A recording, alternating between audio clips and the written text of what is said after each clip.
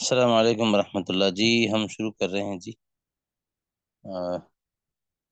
इंशाअल्लाह अल्हम्दुलिल्लाह वकफ़ा वसलाम अला इबादिहि अल्लज़ीना इस्तफ़ा अम्मा बाद फ़अऊज़ु बिल्लाहि मिनश शैतानिर रजीम बिस्मिल्लाहिर रहमानिर रहीम अल्लज़ीना इस्तजाबू लिल्लाहि वर रसूलि मिन बअदि मा असाबहुम वल क़रहु लिल्लज़ीना अहसनु हुम्मा इत्तक़ू अज़ीम आज हम सूरह आल इमरान की आयत नंबर 172 से आगाज़ कर रहे हैं और इस आयत मुबारक में और इसके अगले जो रुकू है, इसके अंदर अल्लाह रब्बुल इज़्ज़त ने एक ख़ास कस्बे का ज़िक्र किया है, जिसका ताल्लुक है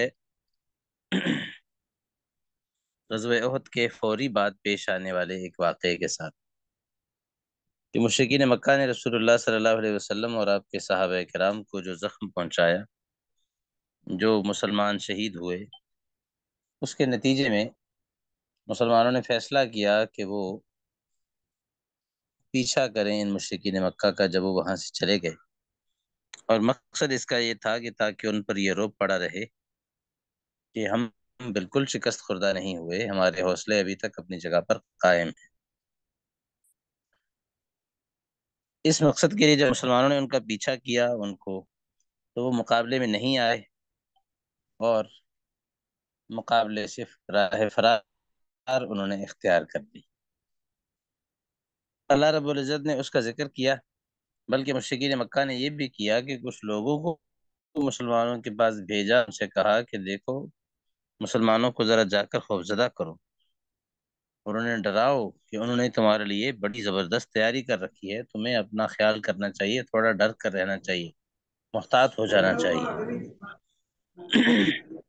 तो अल्लाह रब्बुल इज़्ज़त ने इस मौके पर मुसलमानों को दिखा दिया और मुसलमानों ने भी अपने हौसले के साथ ये बात दिखा दी कि वो बिल्कुल घबराए हुए और बिल्कुल भी डरे हुए नहीं है। वो अब भी दुश्मन का पीछा करने के लिए तैयार हैं और अब भी दुश्मन से दो दो हाथ करने के लिए तैयार हैं। इससे एक मैसेज ये मिलता है कि जिस्मानी तौर पर शिकस्त खा जाना एक गलत चीज़ है, लेकिन दुश्मन के मुकाबले में इस्लाम की तालीम यह है कि बहरहाल मेंटली जहनी तौर पर शिकस्त खुर्दा होना ये फ़िज़िकल शिकस्त से इसलिए दुश्मन के सामने अपने अज़म और हौसले और हिम्मत का इजहार भी ज़रूरी है, ताकि उसे ये पैगाम मिला रहे कि उसके मुकाबले में इस्लाम और मुसलमान और उसकी ताकत मौजूद है। इसके अलावा अल्लाह रब्बुल आलमीन इस मौके पर ये भी तालीम देते हैं और ये भी सिखाते हैं कि जब अल्लाह ताला किसी काफिर को ढील देते हैं तो वो ढील किस मकसद के तहत होती है? बाज़ अवक़ात अल्लाह ताला किसी को उसकी गलती पर फ़ौरन नहीं पकड़ते उसको ढील दी जा रही होती है, और वो उस ढील के नतीजे में और ज़्यादा ज़रूरत और बेबाकी का मुजाहरा करता चला जाता है, अपने गुनाह में, सरकशी में आगे बढ़ता चला जाता है। अल्लाह ताला फरमाते हैं, बाज़ अवक़ात किसी को ढील हम देते ही इसलिए है। लियज़दादु इस्मा ताकि उनके गुनाहों में और इजाफा हो जाए। और ये ढील उनके भले के लिए नहीं होती, उनका नुकसान होता है उस ढील के मिलने में, क्योंकि वो गुनाह में और जरी होते चले जाते हैं, बेबाक होते चले जाते हैं। तो गुनाह में बेबाक होना, जरी हो जाना और फौरी सजा न मिलने को अपने लिए मोहलत समझना, ये एक शख्स के दिल के मुर्दा होने की अलामत है। और इसका माना यह है कि वो अल्लाह रब्बुल आलमीन की बारगाह में किसी तरह की इबरत और नसीहत हासिल करने के लिए तैयार नहीं इन्हीं आयात में अल्लाह रब्बुल इज़्ज़त ने रसूलुल्लाह सल्लल्लाहु अलैहि वसल्लम को एक बात ये भी सिखाई और तालीम दी, बाकायदा खिताब करके फरमाया कि ला यगुर्रन्नका तक़ल्लुबुल लज़ीना कफ़रू फिल बिलाद। ये जो काफिर लोग हैं, इनके पास वसाइल की बहुतात है। ये शहरों में घूमते फिरते रहते हैं। ये दुनिया भर में सफ़र करते हैं। इसके नतीजे में आप धोखे में ना पड़िए। ये ना ख्याल कीजिए कि शायद ये अल्लाह के मुकर्रब और पसंदीदा बंदे हैं। अल्लाह का पसंदीदा वो है जो उसका फरमा बरदार है। अल्लाह का पसंदीदा वो नहीं है कि जो ज़्यादा माल वाला है, ज़्यादा दौलत वाला है, जिसके पास वसाइल ज़्यादा है। अल्लाह के यहाँ पसंदीदगी का मैार ये नहीं है। आखिर में अल्लाह रब्बुल इज़्ज़त ने इस आयत में तालीम दी और इस सूरत की बिल्कुल आखिरी आयत में फरमाया ईमान वालो, सब्र का अख्तियार करो। और साबिरु, और जब मुकाबला हो जाए तो फिर साबित कदमी दिखाओ और सरहदों की हिफाजत के लिए डटे रहो। तुफलिहून, और अल्लाह से डरते रहो ताकि तुम्हें कामिल फलाह नसीब हो। इसके बाद सूरत निसा का आगाज़ हो रहा है। सूरत निसा, ये जो सूरत है, ये खास तौर पर इस हवाले से बहुत अहमियत रखती है। कि इसमें औरतों के हवाले से अहकाम शरीयत के वो बयान किए गए हैं। अनसा का माना भी होता है औरतें। अब उन अहकाम का ताल्लुक कई तरह की चीज़ों के साथ है। एक इसका ताल्लुक इस बात के साथ भी है कि शादी ब्याह और के कुछ यहाँ बयान गए हैं। निकाह और तलाक के कुछ अहकाम यहाँ पर बयान किए गए हैं। एक ताल्लुक इसका इस बात के साथ भी है कि वसीयत के अहकाम भी इस सूरत के अंदर बयान किए गए हैं। इसके अलावा रोज़मर्रा की ख़ानदानी ज़िंदगी के कुछ और मसाइल भी हैं जो इस सूरत के अंदर अल्लाह रब्बुल इज़्ज़त ने बड़ी तफसील के साथ ज़िक्र फरमाए हैं। इस सूरत में सबसे पहले अल्लाह रब्बुल इज़्ज़त ने जो इरशाद फरमाया है वो इंसानों की तख्लीक का ज़िक्र किया है कि अल्लाह से डरो और साथ साथ अल्लाह, उस अल्लाह से जिसने तुम्हें एक जान से पैदा किया। वो एक जान से मुराद ज़ाहिर है, हज़रत आदम सलाम की जान है। वखलक मिनहा ज़ौजहा वबस्स मिनहुमा रिजालन कसीरन व निसा। और उस एक जान से अल्लाह ने उसका जोड़ा बनाया, हज़रत हवा सलाम को, और बहुत से मर्द औरत उसके ज़रिए से इस जहान में फैला दिए, और उस अल्लाह से डरते रहो, जिसका नाम देख कर जिसके वास्ते से तुम इसे सवाल करते हो, और रिश्तेदारों से भी डरते रहो। रिश्तेदारियों, रिश्तेदारों के हकूक की पासदारी करो। अल्लाह का नालकुम रकीब। और सबसे पहले यतीम बच्चियों के हकूक का ज़िक्र भी साथ साथ अल्लाह ताला फरमा रहे हैं। यतीम बच्चे हों या बच्चियाँ हों, क्योंकि कुरान करीम जो पसमानदा तबके हैं, उनके हकूक पर बहुत ज़्यादा ज़ोर देता है। वो शख्स जो अपना हक लेने की ताकत रखता है कुरान करीम उस को इतना ज़्यादा जेर बहस नहीं लाता, वो जो अपना हक लेने की ताकत नहीं रखता, जिसके पास मदद नुसरत के लिए न दौलत है, न वसाइल है, न असर रसूख है, अल्लाह ताला उसका हकूक इंसान को याद दिलाते हैं। और यही पैगंबर सल्लल्लाहु अलैहि वसल्लम की सुन्नत भी है कि आप सलाम ने भी अपनी ज़िंदगी के आखिरी मराहल में अपने जेर दस्तों और मातहतों के हकूक की निगहदाश्त की तलकिन फरमाई। तो फरमाए को उनका माल उनके हवाले किया करो और ऐसे भी ना करो कि अपना घटिया माल उनको देकर उनकी अच्छी चीज़ अपने पास रख लो। और कभी ऐसे भी ना करो कि उनका माल अपने माल में मिक्स करके तुम खुद खाते रहो। इन का नहूबन कबीरा, ये बहुत बड़ा गुनाह है। ये बहुत बड़ा गुनाह है।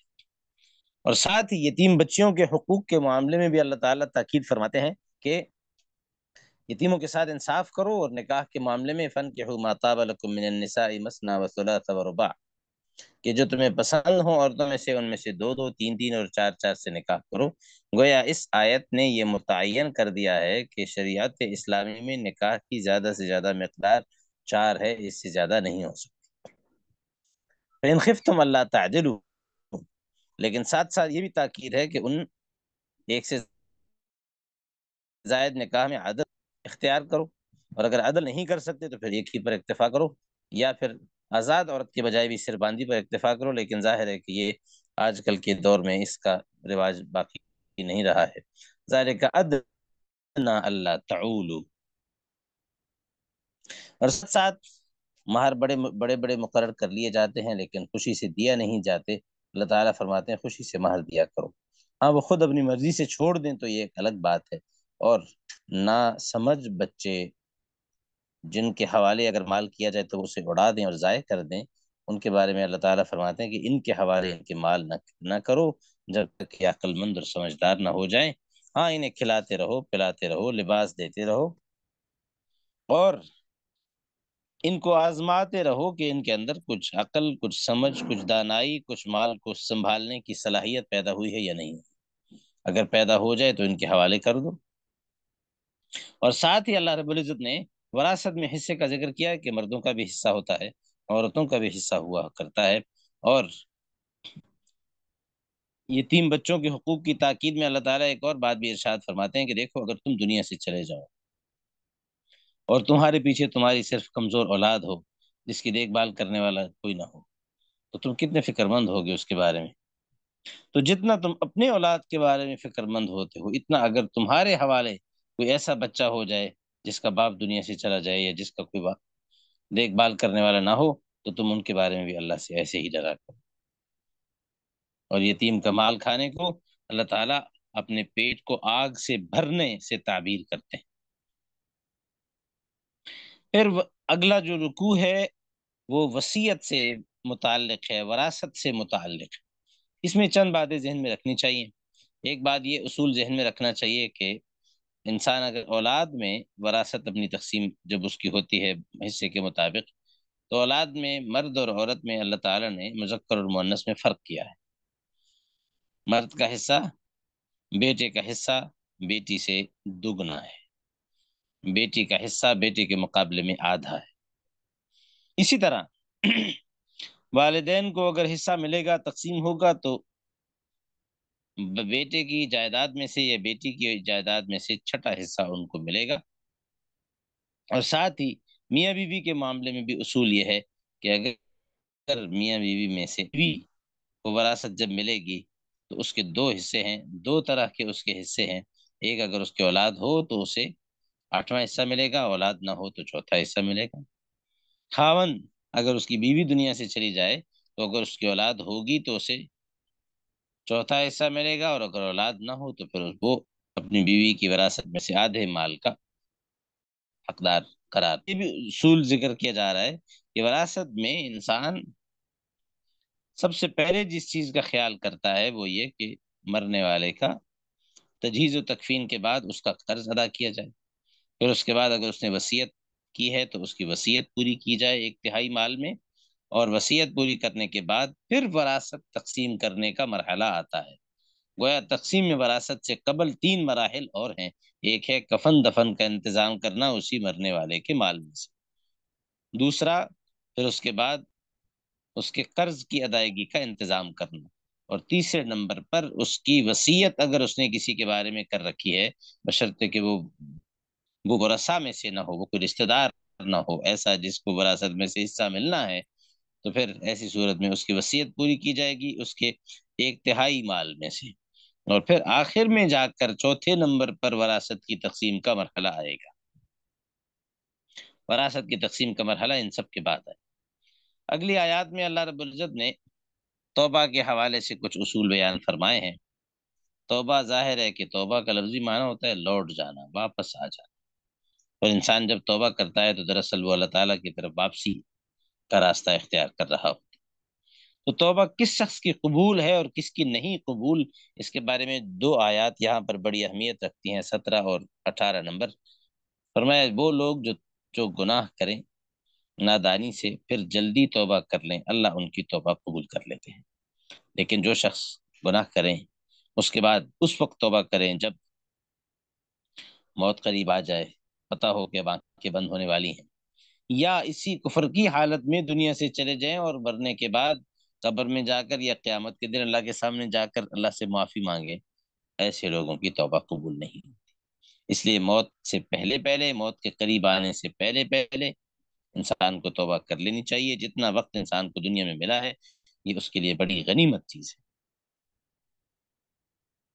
और साथ ही अल्लाह ताला ये भी इरशाद फरमाते हैं जहलीत की रस, जो रसूमात हैं, कुरान करीम उनकी बड़ी शिद्दत से तरदीद करता है। औरतों को मरने वाले की वरासत का हिस्सा समझा जाता था। और जिस तरह माल तकसीम होता है, इसी तरह औरत भी तकसीम की जाती थी। तो अल्लाह ताला फरमाते हैं कि औरत एक जानदार फर्द है, उसके अपने हकूक हैं। ऐसा नहीं है कि जब कोई उसका खावन दुनिया से चला जाए तो उसके बाद वो माल वरासत की तरह तुम्हारे दरमियान तकसीम हो, अपने फैसला करने का इख्तियार वो खुद रखती है। और साथ ही साथ अल्लाह ताला ये भी फरमा दें कि इनके साथ अच्छे तरीके से गुजरान किया करो। और जब तुम उनमें से किसी को माल दे दो, चाहे जितना मर्ज़ी दो, पूरा खजाना उठाकर दे दो, और फिर बाद में तुम अब बीवी बदलना चाहते हो, कोई और निकाह करना चाहते हो तो फिर ऐसा ना करो कि पहली से माल लेकर नई आने वाली दुल्हन को तुम उसमें से दो, बल्कि जो पहली को दे चुके हो, वो उसकी मालिक बन चुकी है, उसमें से लेने का तुम्हारा हक खत्म हो चुका है। और अल्लाह ताला अगली आयत में उन रिश्तों का ज़िक्र करते हैं, जिन्हें हराम करार दिया गया है। आयत नंबर बाईस, तेईस और उसके बाद चौबीस, पच्चीस वगैरह में उन रिश्तों का ज़िक्र है, जिनके साथ निकाह हराम करार दिया गया है। नंबर एक, वो औरत जिसके साथ किसी के बाप का निकाह हो जाए, उसके साथ बेटा निकाह नहीं कर सकता, चाहे बाद में बाद में वो उस बाप के निकाह में रहे या ना रहे। यानी अगर किसी, कोई बेटा ऐसी किसी खातून से निकाह नहीं कर सकता जिसके साथ उसका बाप निकाह कर चुका हो। चाहे वो बाद में वो उसकी माँ नहीं होगी, ज़ाहिर सी बात है, चाहे वो बाद में उसके निकाह में रहे या ना रहे, उसके लिए वो हमेशा के लिए हराम हो चुकी है। इसी तरह हकीकी माँ, बेटी, बहन, फूफी, खाला,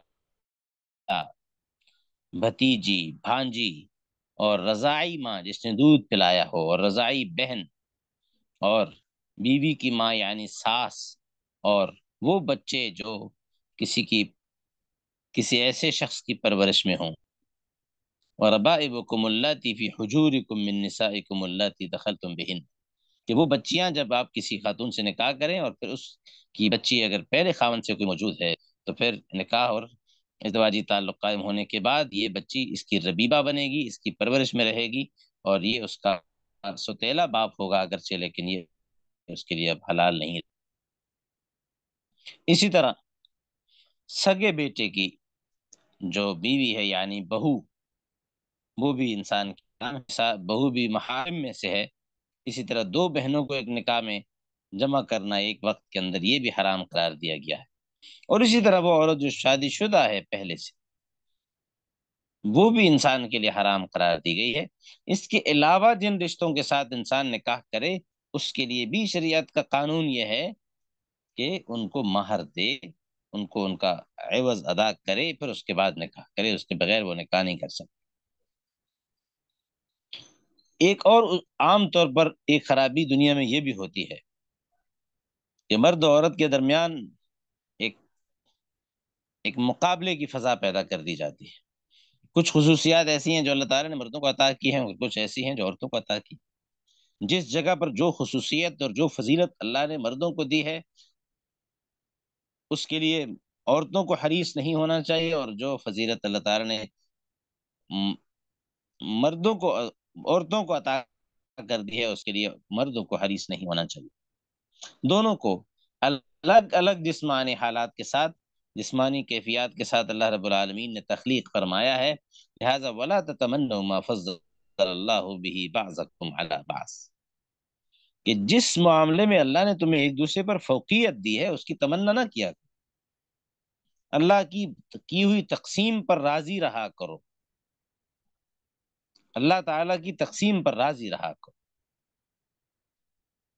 और इसके साथ साथ वरासत शरीयत के उसूल के मुताबिक तकसीम करो, जिसका जो हक बनता हो उसे, उसके मुताबिक उनका हिस्सा दो। अल्लाह ताला इसके ऊपर निगरान है और गवाह है। फिर साथ ही साथ अल्लाह अल्लाह रबालमीन इरशाद फरमाते हैं कि अर्रजाल कवामून अलनिसा मर्द औरतों पर निगरान है। यानी हाकिमियत घरेलू ज़िंदगी के निज़ाम में मर्द के पास है, इसलिए कि उसके ऊपर बोझ भी ज़्यादा डाला गया है, ज़िम्मेदारी भी ज़्यादा उसको दी गई है, और ये कुछ वजह इसकी यह है कि अल्लाह ने उससे फजीलत दी है, और तुम, और कुछ वजह उसकी ये भी है कि चूँकि वो माल खर्च करते हैं, खर्च करने की वजह से उन्होंने ज़िम्मेदारी उठा ली है तो जो शख्स ज़िम्मेदारी लेता है तो जो जितना फ़र्ज़ अदा करता है, उतने ज़्यादा उसके हकूक भी होते हैं। वो में नमवाले तो कुछ फोकियत अल्लाह की तरफ़ से अता की गई है, कुछ फोकियत उसने ज़िम्मेदारी संभालने की वजह से खुद हासिल कर ली।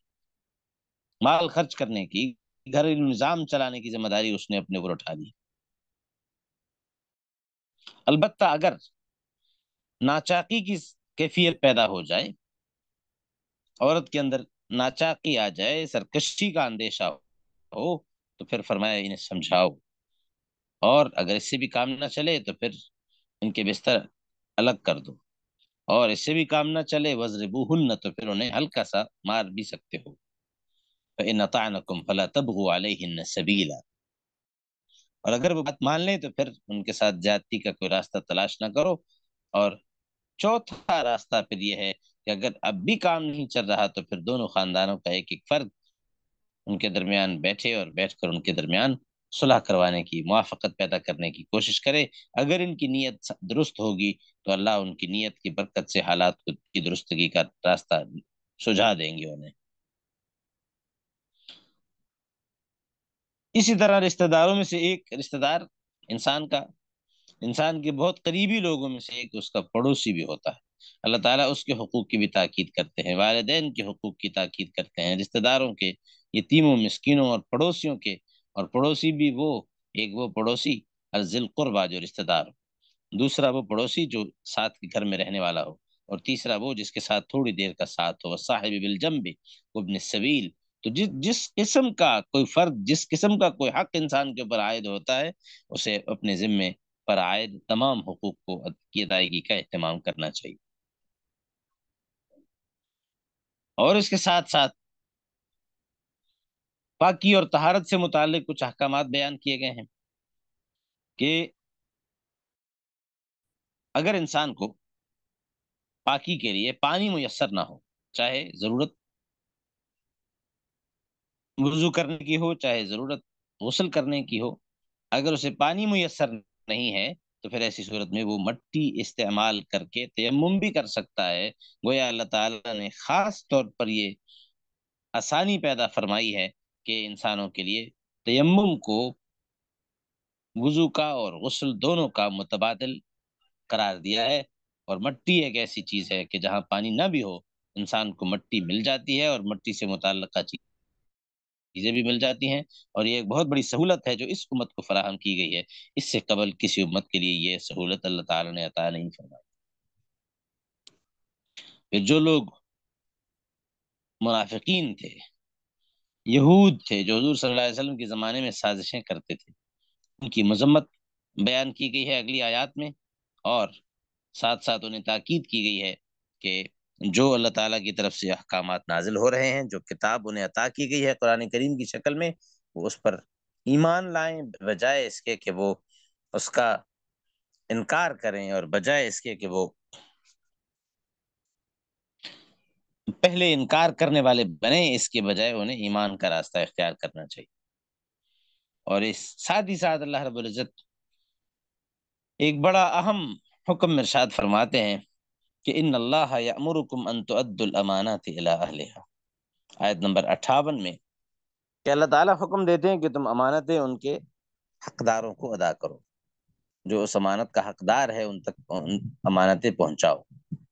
और फैसले इंसाफ के साथ किया करो। अल्लाह ताला तुम्हें बड़ी बेहतरीन किस्म की नसीहतें करते फिर इतात के दायरे में कि किसकी फर्मा बरदारी इंसान को करनी है, एक मोमिन को? तो मैं सबसे पहले अती अल्लाह की इतात करो। वह अती रसूल पैगंबर अलैहि वसल्लम की इतात करो। उलिल अमरी मिनकुम, और तुम में से जो साहिब इख्तियार हों, हुक्मरान हों, उनकी भी इतात करो।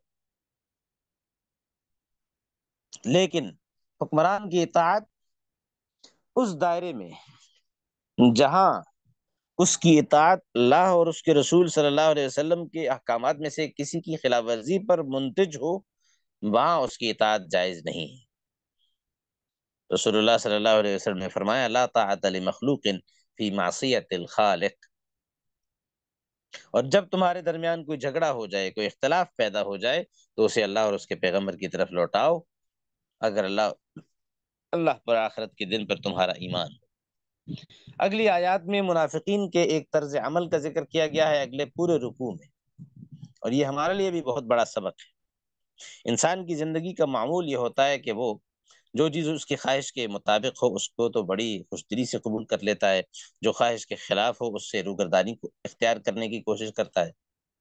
मुनाफिकीन का मामला भी यही था। कि जब उनके दरमियान कोई ऐसा मामला पेश आ, आता जिसके बारे में उन्हें तो होती कि इस मामले में रसूलुल्लाह सल्लल्लाहु अलैहि वसल्लम उनकी बात मान लेंगे और फैसला उनके हक में आएगा क्योंकि उनकी राय दुरुस्त है। तो वो तो वो फैसला हजूर सल्लल्लाहु अलैहि के पास लेकर जाते थे। लेकिन अगर कहीं उन्हें ये एहसास होता कि वो गलती पर हैं रसूलुल्लाह सल्लल्लाहु अलैहि उनकी बात उनका मुतालबा तस्लीम नहीं फरमाएँगे और उनके मुतालबे को रद्द कर देंगे तो ऐसे मौके पर वो आप सलाम का हुक्म तस्लीम करने के बजाय या आपकी तरफ़ उस मामले को रेफर करने के बजाय फिर वो किसी यहूदी के पास ले जाने की कोशिश करते या किसी ऐसे शख्स के पास जिस पर वो असर रसूख या दौलत या किसी भी चीज़ का इजहार करके उससे अपनी मर्ज़ी का फैसला करवा सकते थे। क्योंकि रसूलुल्लाह सल्लल्लाहु अलैहि वसल्लम के साथ तो ऐसा कोई मामला नहीं किया जा सकता था। तो अल्लाह रब्बुल इज़्ज़त ने इस पूरे रुकू में उनके इस तर्ज अमल की नफ़ी की और फरमाया कि अम्बिया की बेसत इसलिए नहीं होती कि उनकी इतात सेलेक्टेड चीज़ों में की जाए, अपनी मर्ज़ी की चीज़ में तो उनकी इतात हो और अपनी मर्ज़ी के खिलाफ जो चीज़ें हों उनमें उनकी नाफरमानी हो, अल्लाह ताला को ये मामला पसंद नहीं है। आज हम अपने आप को देख लें, कई दफ़ा हम अपनी ख्वाहिशात को तरजीह देते हैं।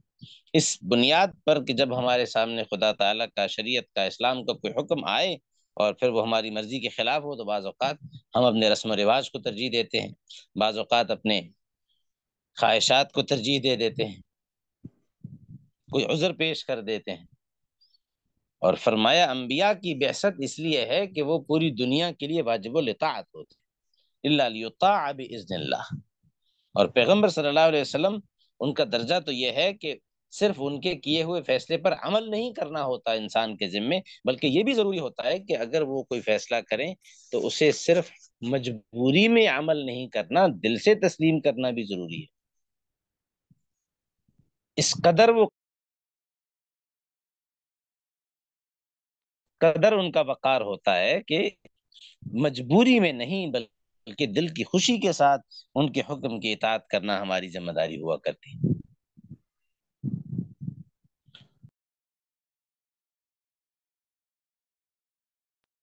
वयुसलिम तस्लीमा, उन्हें चाहिए कि वो अपने दिल में आपके किसी फैसले पर कोई तंगी भी महसूस न करे और आपके फैसलों को दिलो जान से तस्लीम करें।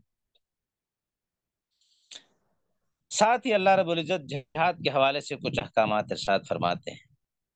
अगले रुकू में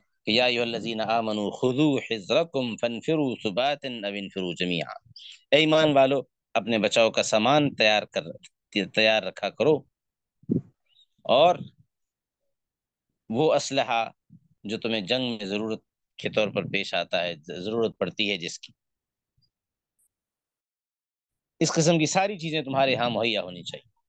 और ये ताकत कुत इसलिए मुहैया करो ताकि तुम कमजोरों की मदद कर सको, बेसहारा लोगों का सहारा बन सको।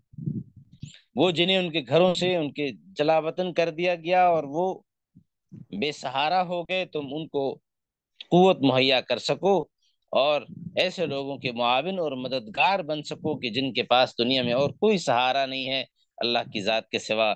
और जो अगर कोई मुश्किल पेश आए तो अल्लाह के सामने ही हाथ दराज करते हैं और अल्लाह के सामने ही मदद के तलबगार होते हैं और अल्लाह ताला से ही नुसरत मांगते हैं। तो ऐसे लोगों के लिए तुम मददगार बनो और उनके लिए तुम अपना असलहा, अपनी ताकत, अपनी क़ुत ये सब इस्तेमाल करो। तो गोया इससे पता ये चला कि जिहाद के मकासद में से एक मकसद ये है कि इंसान इसके ज़रिए से कमजोरों की मदद करे और कमजोरों का सहारा बने। और साथ ही इंसान को ये तलकीन की जा रही है अगले रुकू में कि मौत एक ऐसी चीज़ है। कि मौत एक ऐसी चीज़ है कि बाज लोग ऐसे थे, हजूर सल्लल्लाहु अलैहि वसल्लम के ज़माने में कि जब जिहाद का उन्हें कहा जाता। तो अल्लाह ताला से शिकवा करते थे कि अल्लाह अपने जिहाद क्यों फ़र्ज़ कर थोड़ी सी हमें मोहलत दे देते, हम यहाँ दुनिया में और ज़िंदा रह लेते। तो अल्लाह ताला फरमाते हैं, इन्हें बताइए कि दुनिया का सामान बहुत थोड़ा है, आखिरत बेहतर है उस शख्स के लिए जो तकवा इख्तियार करता है। और मौत तो एक ऐसी चीज़ है कि कोई कितने ही मज़बूत महल बना ले, ज़बरदस्त किस्म की इमारतें तामीर करे, मौत उसे आकर रहती है, कोई उसे बचा नहीं सकता कोई नहीं बचा सकता उसको। और फिर मुनाफिकीन, मुनाफिकाना तर्ज अमल में तरीका ये भी था उस जमाने के अंदर कि बाज लोग ऐसे थे कि जबानी आकर बड़ी चापलूसी करते थे, बड़ी इतात का और बड़ी फर्माबरदारी का दावा करते थे। लेकिन जब उठकर जाते थे तो वो तयशुदा बातें नजरअंदाज करके नया मशवरा शुरू कर देते थे।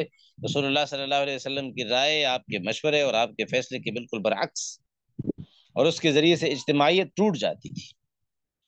और ये सारे काम वो रातों को बैठ कर किया करते थे, जब उनका एहसास ये होता था कि शायद रसूलुल्लाह सल्लल्लाहु अलैहि वसल्लम को इस वक्त हमारी तरफ़ से अपने हुक्म की खिलाफ वर्जी की इतला नहीं मिल सकेगी। तो अल्लाह ताला फरमाते हैं, ऐसे ना करो, अल्लाह ताला जानते हैं। और हजूर वसल्लम को भी तलकीन की जा रही है कि फ़ारज़ हम आप इन लोगों को इग्नोर कीजिए। अल्लाह पर भरोसा रखिए ये जितनी भी मुनाफिकाना तर्ज अमल इख्तियार करें, जितनी मफाद परस्ती इनके रवैये के अंदर मौजूद हो, लेकिन ये आपका कोई नुकसान नहीं कर सकते। इसी तरह एक खराबी ये भी हुआ करती है किसी भी मुआरे में कि वहाँ जब कोई बात आए, किसी भी मामले से मुतालिक तो वो बात रुकी रहने के बजाय या मखसूस लोगों के दरमियान रहने के बजाय फैला दी जाए। तय किए बगैर, फैसले तक पहुँचे बगैर उसकी गहराई को जांचे बगैर कि ये बात फैलाने के काबिल है या नहीं है। जैसे आजकल के मिजाज में सोशल मीडिया का भी जैसा मिजाज यही है कि कोई सुनने वाला ये तहकीक नहीं करता किसी के पास जब कोई खबर पहुँचती है कि इसकी अथेंटिसिटी क्या है ये कहाँ से आई है इसके असरात क्या हो सकते हैं और इसके इससे खराबी क्या पैदा हो सकती है। इन सारी चीज़ों का जायजा लिए बगैर बात आगे फैला देना। अल्लाह ताला फरमाते हैं, ये मुनाफिक का तर्ज अमल है। मुमिन जो होता है, वो बड़ा संजीदा होता है। वो बात कहने से पहले सोचता है। वो हर सुनी सुनाई बात को आगे नहीं फैलाता। सफारिश जो आमतौर पर जो लोग एक दूसरे की करते हैं, उसके बारे में बड़ी अहमियत के साथ अल्लाह ताला ताकीद करते हैं कि सफारिश अच्छी होनी चाहिए, हकदार की होनी चाहिए। अगर कोई अच्छी सिफारिश करेगा तो उसका अजर उसे मिलेगा। और अगर कोई बुरी सिफारिश करेगा ना हक सिफारिश करेगा, किसी ऐसे को कोई हक दिलाने की कोशिश करेगा जिसका वो हक नहीं है तो उसका बवाल उस सिफारिश करने वाले पर भी पड़ेगा। इसलिए सिफारिश करने से पहले इंसान को सोच लेना चाहिए। और सलाम के बारे में अल्लाह ताला ताकीद फरमाते हैं, आयत नंबर छियासी के अंदर, कि जब तुम्हें सलाम किया जाए तो जवाब में उससे अच्छे अल्फाज इस्तेमाल करो या उन्हीं को दोहरा दो। इन अल्लाह का अला कुल्ल शैइन अला कुल्ल शैइन हसीब, अल्लाह हर चीज़ पर हिसाब रखने वाला है। लिहाजा सलाम का जवाब ज़्यादा उम्दा अल्फाज के साथ होना चाहिए। अगर किसी ने अस्सलाम वालेकुम वरहमतुल्लाह कहा है तो आप जवाब में बरकत का इजाफा कर दें। इससे ये होगा कि आपकी तरफ़ से ज़्यादा बेहतर जवाब मिलेगा। तो अल्लाह रब्बुल इज़्ज़त ने अगली आयात में मुनाफिकीन का और उनकी कुछ साजिशों का ज़िक्र किया है। और साथ ही साथ अगले रुकू में अल्लाह रब्बुल इज़्ज़त ने कत्ल मोमिन का जो कत्ल होता है, अगर वो कत्ल भी गलती के साथ हो जाए तो उसका कफारा ज़िक्र किया है कि उस सूरत में दो चीज़ें कफारे के तौर पर होंगी। एक ये कि गुलाम आज़ाद करना पड़ेगा और दूसरा ये कि दियत अदा करनी पड़ेगी, खून बहा देना पड़ेगा। और गुलाम की आज़ादी का मुतबादल ये है, अगर किसी के पास गुलाम मौजूद नहीं है तो फिर कफारे के तौर पर उसे दो माह के मुसलसल रोज़े रखने पड़ेंगे। दियत भी होगी और साथ साथ कफारा भी होगा। और अगर कोई जानबूझ कर किसी मुसलमान को कत्ल कर डाले, पिछली आयत में ज़िक्र था गलती से कत्ल करने का तो उसके कफारे में दो चीज़ें थी, गुलाम की आज़ादी या साठ रोज़े। आजकल तो साठ रोज़े ही होंगे। ज़ाहिर गुलामी का दौर नहीं रहा, ख़त्म हो चुका है। तो और साथ साथ दियत, यानी खून बहा भी अदा किया जाएगा, जो शरीयत ने मुकर किया है किसी आदमी की जान के बदले में। इसके साथ साथ अल्लाह रब्बुल इज़्ज़त उन लोगों का ज़िक्र करते हैं कि जब वो जिहाद में जाएँ और जिहाद के दौरान उन्हें कोई शख्स सलाम करे और फिर वो उसे उसकी जान ले लें बावजूद इसके कि उसने सलाम किया, अपने इस्लाम का इजहार किया है तो फरमाया जब कोई इस्लाम का इजहार करे, चाहे वो इस्लाम का इजहार कर रहा हो जान बचाने के लिए, चाहे किसी भी वजह से, तुम उनके दिल नहीं जानते। उनके इस्लाम को कबूल करो और उनके ज़ाहिर के मुताबिक उनके साथ मामला करो। उनके बातें सिर्फ़ अल्लाह के इलम में है, तुम नहीं जान सकते। और जिहाद करने वाले जो अल्लाह की राह में अपनी जान कुर्बान करने के लिए तैयार हो जाते हैं वो और जो घरों में बैठे रहते हैं, ये दोनों बराबर नहीं हो सकते। जिहाद करने वालों को अल्लाह ताला ने घरों में बैठे रहने वालों पर बहुत बड़ी फजीलत अता कर दी है। बड़ी फजीलत अता की इसके बाद अल्लाह रब्बुल इज़्ज़त ने सलातुल खौफ का ज़िक्र किया है कि अगर जिहाद के दौरान कभी ज़रूरत पेश आ जाए नमाज़ पढ़ने की, और इमाम भी एक हो तो उस नमाज़ के पढ़ने का तरीका क्या होगा? उसका तरीका यहाँ अल्लाह रब्बुल इज़्ज़त ने तफसील के साथ ज़िक्र फरमाया है। और अगली आयात में इन अंजलना इलिकल किताब बिल हक़ लितहकुम बैनन्नास बिमा अराकल्लाह। अगली आयात में अल्लाह ताला एक बड़ी अहम बात बयान फरमा रहे हैं। इंसान को ज़िंदगी में साथ किन लोगों का देना चाहिए? आजकल हम किसी का साथ देते हैं किस वजह से? ये हमारे खानदान का है, हमारी कौम का है, हमारे कबीले का है। चाहे वो गलत हो, चाहे सही हो। हम नहीं देखते कि हम किसका साथ दे रहे हैं। तो अगले इन दो रुकू में अल्लाह ताला ने उसूल ज़िक्र किए हैं कि जो लोग खाइन हो, ख्यानत करने वाले हों, गलत मामलात में गलत मशवरे देने वाले हों, जिनकी राय गलत हो जो धोखेबाज हों, उन लोगों का साथ देना अल्लाह ताला को पसंद नहीं है। इसलिए कि इसके ज़रिए आप उनके धोखे को, उनकी ख़यानत को तकवीत पहुँचा रहे हैं। इन अल्लाह मन कान खवान असीम। और साथ अल्लाह ताला फरमाते हैं, अगर फ़र्ज़ किया, तुम दुनिया में इनका साथ दे दोगे। झगड़ लोगे इनके, इनकी तरफ़ से लोगों के साथ। क्यामत के दिन जब अल्लाह ताला इनकी गिरफ्त करेंगे तो फिर क्या इन्हें बचा सकोगे? ज़ाहिर है कि कोई ऐसा नहीं कर सकता। अगर क्यामत के दिन अल्लाह ताला ने पूछ लिया कि तुमने फला मामले में फलां का साथ दिया था, क्यों दिया था? इंसान के पास क्या जवाब? इसलिए कि मेरे कबीले का था, मेरी कौम का था। नहीं, मोमिन साथ देता है हक की बुनियाद पर। गलत चीज़ का साथ नहीं दे सकता। हाँ अगर पहले तुमसे ऐसा कभी हो चुका है तो फिर ऐसी सूरत में अल्लाह से मुआफ़ी मांगो इस्तफार करो। अल्लाह ताला बहुत बख्शने वाले हैं, बड़े मेहरबान। ये एक बड़ी अहम बात इन दो रुकू का खुलासा है, जो पिछले पीछे गुजर चुके हैं। कि इंसान ज़िंदगी गौर करे तो ये मामला ऐसे हैं जो बार बार पेश आने वाले और अगली आयत नंबर एक सौ सोलह में अल्लाह ताला बड़ा अहम उसूल ज़िक्र करते हैं कि शिरक एक ऐसा गुनाह है जिसकी बिल्कुल माफ़ी नहीं है। इसके अलावा अल्लाह ताला जो चाहेंगे, जिसे चाहेंगे माफ़ कर देंगे। और शिरक करने वाला कौन होता है? शिरक करने वाले बाज औकात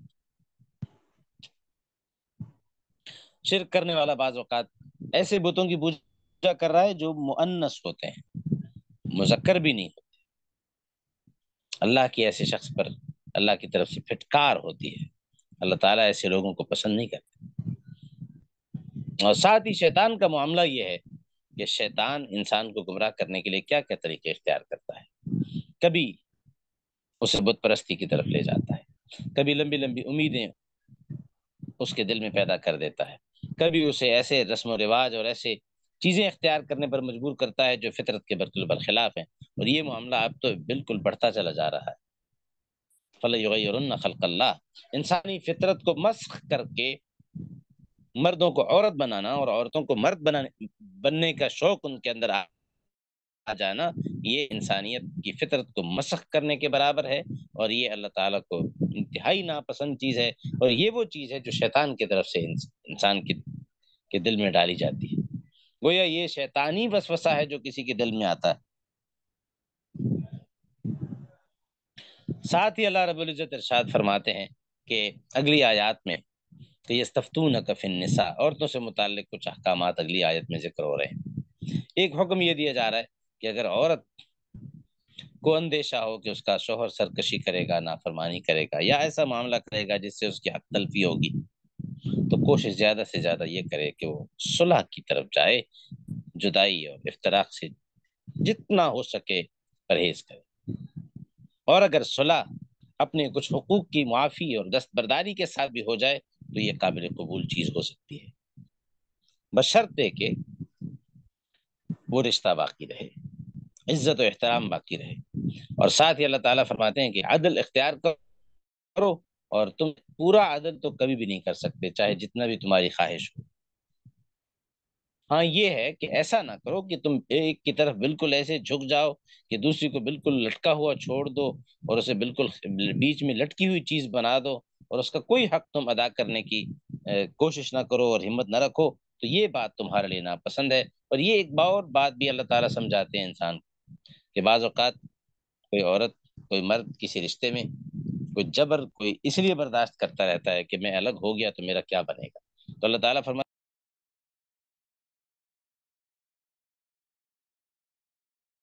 उसके मुआफिक ज़िंदगी अता कर देते हैं। जब वो अलग हो जाते हैं तो अल्लाह ताला उनके लिए हर एक के लिए अलग अलग असबाब भी पैदा कर देते हैं। मसला असबाब का नहीं है। मसला माशरे की तामीर का है। उसमें सुलह बेहतर है। वो तो उसूली बात है। लेकिन कोई ये ख्याल ना करे कि अल्लाह किसी को अलग होने के बाद रिस्क नहीं देगा। रिस्क अल्लाह के हाथ में। रिस्क अल्लाह ताला के हाथ में।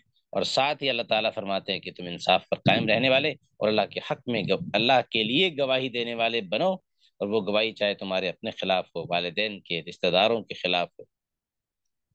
इंसाफ पर कायम रहना, अल्लाह के हक के लिए गवाही देना, ये इंसान की, मोमिन की जिम्मेदारियों में से एक बड़ी ज़िम्मेदारी। अगली आयात में अल्लाह ताला मुनाफिकीन की कमजोरियाँ ज़ाहिर करते हैं और बताते हैं कि किस किस तरह से मुसलमानों को नुकसान पहुंचाते हैं, उनका मज़ाक उड़ाते हैं और उनको धोखा देने की कोशिश करते हैं। ये न दाएँ तरफ़ होते हैं, न बाएँ तरफ़ होते हैं। इबादत में भी ये सुस्ती वाला रवैया इख्तियार करते हैं रियाकारी इनका, इनकी ज़िंदगी का हिस्सा होती है। और ये ऐसे मुनाफिक लोग दोजख में भी सबसे निचले दर्जे के अंदर अल्लाह ताला की तरफ़ से होंगे और आखिरी आयत बड़ी अजीब रहमत वाली आयत है पर मैं मा फ़ारज़ाबिकुम अल्लाह के बंदो, अल्लाह ताला को तुम्हें अजाब देकर क्या फ़ायदा होगा? अल्लाह ताला क्या करेंगे तुम्हें अजाब देकर? तुम शुक्रगुजार बन जाओ, ईमान ले आओ तो अल्लाह ताला तुम्हें अजाब बिल्कुल नहीं देना चाहते। वकान अल्लाह शाकिरन अलीमा, अल्लाह तुम्हारे ईमान की अमाल की बड़ी कदरदानी करने वाले हैं और मुकम्मल इल्म रखने वाले हैं। लिहाजा तुम अल्लाह के साथ मुखलिस होकर, रियाकारी से बचकर, परहेज करके अल्लाह ताला की तरफ़ मुतवजह हो जाओगे तो अल्लाह ताला तुम्हारी तरफ़ मुतवजह हो जाएँगे और तुम्हारे लिए दोनों जहानों में आसानी पैदा कर देंगे। पर इतफा करते हैं जी। जी कोई सवाल हो तो आप कर सकते हैं।